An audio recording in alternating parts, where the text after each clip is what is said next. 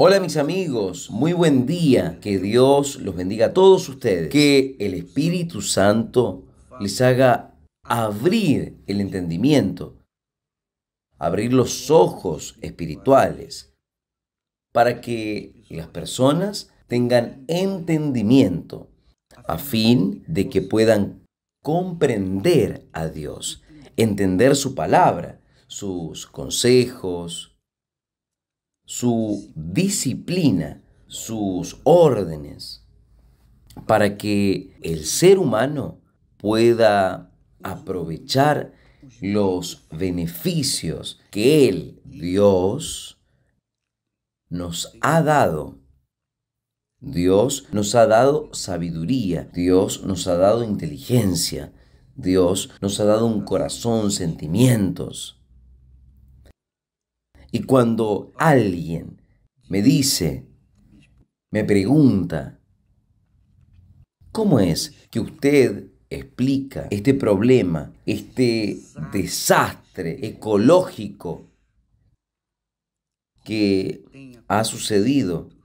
Terremotos, maremotos, eh, tifones, huracanes, la tierra se está abriendo y todo lo que avanza por las ciudades y destruyen todo lo que tienen por delante. ¿Cómo usted me explica esto? Yo lo explico, yo explico lo que yo entiendo, porque yo entiendo, lo que entiendo es que Dios es Dios. Él siempre será Dios, siempre fue Dios. Él es autoexistente. Él es toda la sabiduría, toda la grandeza, toda la gloria y majestad. Cuando Él creó los cielos y la tierra, Él le dio al hombre toda la tierra, dominio sobre todos los animales, dominio sobre la tierra, el mar y el aire. Él dio el dominio para el hombre sobre todo en la tierra. Él colocó al hombre en el jardín para que allí el ser humano pudiese desenvolver, crear y procrear y todo estar de acuerdo con Dios, porque Dios es orden, Dios es disciplina, Dios es respeto, Dios es grande. Él hace todo perfecto y aún dentro Él le ha otorgado al hombre el poder, el poder de toda la tierra, la autoridad sobre toda la tierra, sobre toda su grandeza, sobre todo lo que Dios creó. Él dio la inteligencia, la sabiduría para cultivar la tierra, para ser amigo de la tierra, para ser socio de la tierra. Él sembraría en la tierra y la tierra le devolvería el fruto que él plantó. Solo que el hombre fue rebelde. El hombre prefirió oír la voz del mal y oír la voz del mal es oír la voz que contraría a la voz de Dios. El ser humano contrarió a la voz de Dios. Entonces, él fue maldecido. Además, Dios no maldice al hombre, pero la tierra fue maldecida por causa del hombre. La tierra fue maldecida por causa del hombre. Aún así, Dios envió a Jesús para salvar al hombre, darle una nueva oportunidad a él. Pero, ¿quién cree en Jesús? ¿Quién ha creído en Jesús? Por causa de su sabiduría, de su inteligencia, por causa de su capacidad de poder ir a la luna, al, a Marte o a cualquier lugar de este mundo. El mundo o en muchos lugares en este mundo dominar los cielos, la tierra, el mar. A pesar de tener toda autoridad, sabiduría, crear aviones supersónicos, cohetes, helicópteros, crear embarcaciones eh, en vía aérea, marítima y también terrenal. Dios nos dio todo para nosotros. Todo, todo.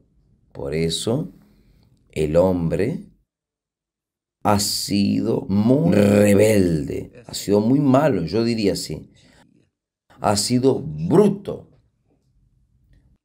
porque él no da oídos a la voz de Dios, porque él construyó cosas grandes, magníficas, predios, torres de tantos pisos y etcétera, etcétera.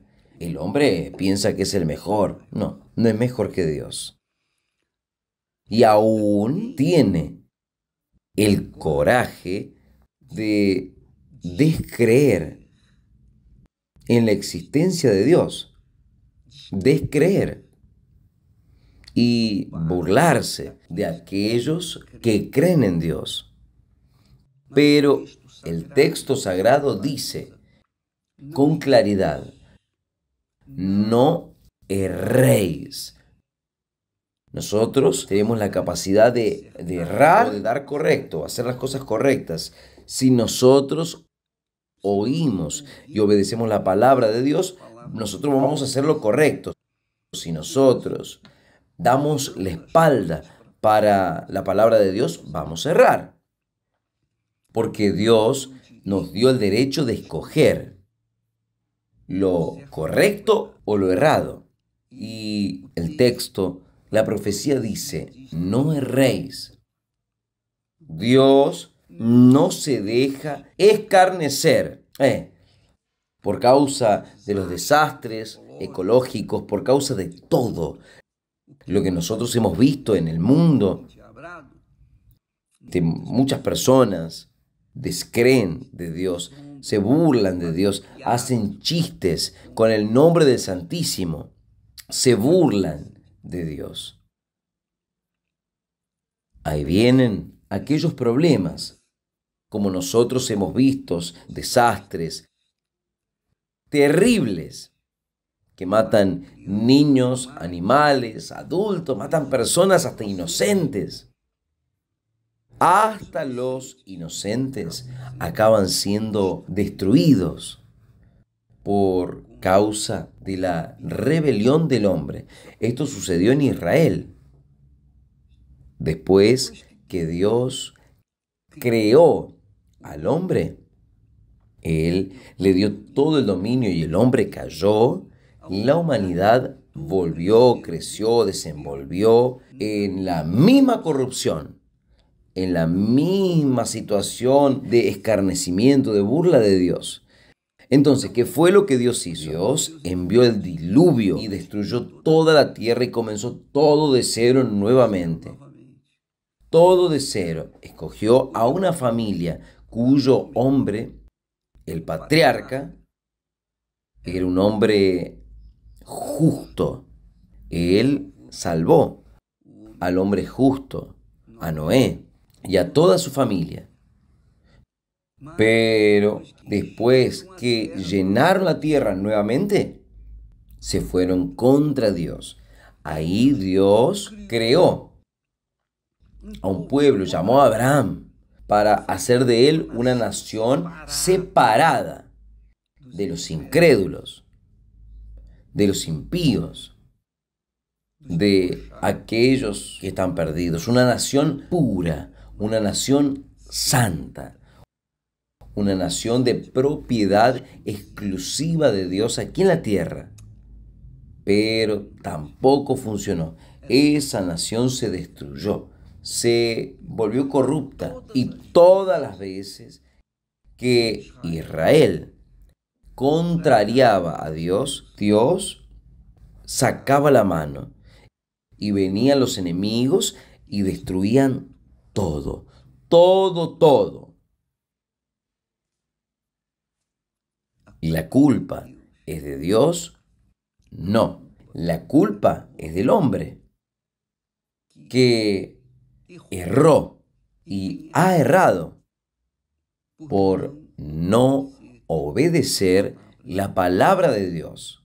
Entonces, la Biblia dice aquí con claridad, Dios no se deja escarnecer, porque todo, todo lo que el hombre siembre, eso también cosechará. Todo lo que el hombre siembre, eso también cosechará. Todos, sin excepción, sin excepción. Yo recojo hoy lo que planté ayer. Voy a cosechar mañana lo que esté plantando hoy. Depende de mí. Depende de lo que yo plante. Si yo planto obediencia a Dios, temor a Dios, entonces Él me va a guardar, me va a proteger.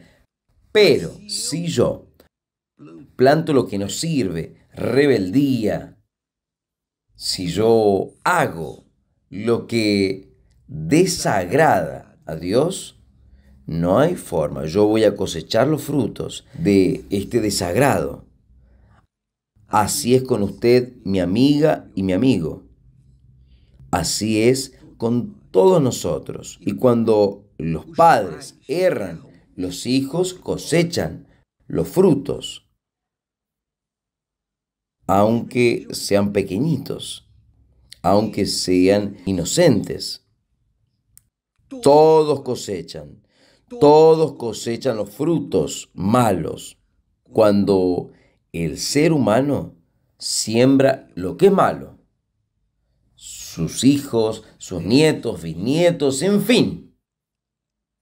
Todo entra dentro del contexto del error entonces, la pregunta que nadie, que no se puede callar, que tiene la respuesta de Dios, que no se calla tampoco. No erréis. Dios no se deja escarnecer, no se deja eh, ser, ser burlado, ser burlado, colocado en chistes, porque todo lo que el hombre siembre, eso también cosechará. Hasta hoy Israel ha cosechado exactamente aquello que ha sembrado. Esta es la realidad, mi amiga y mi amigo. Ahí usted puede tener lo que usted tenga, dinero, posición, sabiduría, inteligencia. Puede ser puede ser un ícono en este mundo, pero si erra y erra con Dios, usted va a cosechar aquello que plantó. No solamente ella, sino que toda su familia, sus hijos, sus descendientes. Es así que Dios nos trata. Él es amor, pero es justicia. Él no deja que una injusticia pase en blanco. Él es amor, es misericordioso, pero Él está listo para atender el clamor de todos los que le invocan. No importa si la persona es la peor de las pecadoras. Él es misericordioso, pero, pero, si el justo erra, el justo va a cosechar los frutos de sus errores. De esto no tenga dudas. Entonces, amiga, amigo, delante de la pregunta, ¿por qué es que tantos desastres, tantas cosas cerradas, tantas barbaridades, tantas muertes? Por causa de esto, el hombre ha errado. Y Dios no deja pasar en blanco. La propia naturaleza se levanta contra el hombre. La propia naturaleza es que se indigna con el hombre y hacen tragedias de forma, situaciones de forma irregular. El hombre que trata mal a los animales, que hacen parte también de la naturaleza de Dios. El hombre que es codicioso, quiere dinero, quiere ganar dinero, quiere ser rico, quiere ser poderoso.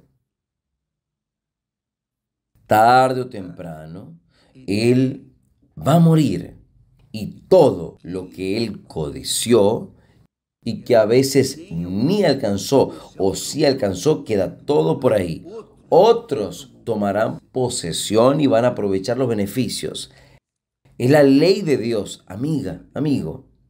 Si la persona, si la persona no quiere oír la voz de Dios, ella va a sufrir las consecuencias. La paz, la paz del Espíritu Santo, la paz de Dios es solamente para los que son de Dios, los que combinan con Dios sus pensamientos, que honran a Dios, que temen a Dios, que lo hacen, hacen de Él su sustento, la base, fundamento de su propia fe.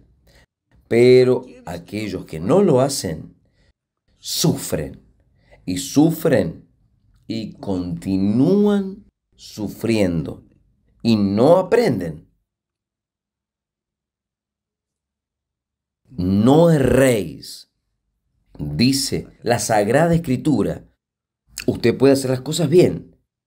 Usted puede comenzar a hacer las cosas bien, aunque sus padres hayan errado, pero usted puede empezar a hacer las cosas bien. Porque si usted tiene un interés, tiene una inteligencia, tiene una mente, aunque usted no tenga escuela o escolaridad, pero usted sabe discernir, separar lo correcto de lo errado, no erre, no erre, porque Dios ve todas las cosas y quien erra va a cosechar los frutos de sus errores y quien hace las cosas bien va a cosechar los frutos de sus aciertos, especialmente la paz. Que Dios los bendiga a todos en el nombre del Señor Jesucristo. Amén.